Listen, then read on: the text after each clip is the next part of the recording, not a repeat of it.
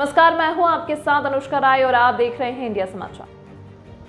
थाना वैरिया जनपद बलिया पुलिस द्वारा पुलिस चेकिंग के दौरान एक नफर अभियुक्त गिरफ़्तार अभियुक्त के कब्जे से चोरी की एक अदत मोटरसाइकिल बरामद। श्रीमान पुलिस अधीक्षक बलिया महोदय श्री विक्रांत वीर के कुशल निर्देशन में अपराध एवं अपराधियों के विरुद्ध तथा वांछित अभियुक्तगढ़ की धरपकड़ हेतु चलाए जा रहे अभियान के क्रम में श्रीमान प्रभारी अपर पुलिस अधीक्षक महोदय, दक्षिणी व श्रीमान क्षेत्र अधिकारी वैरिया के प्रावेक्षण में प्रभारी निरीक्षक वैरिया, श्री रामायण सिंह के कुशल नेतृत्व में थाना वैरिया पुलिस को मिली सफलता।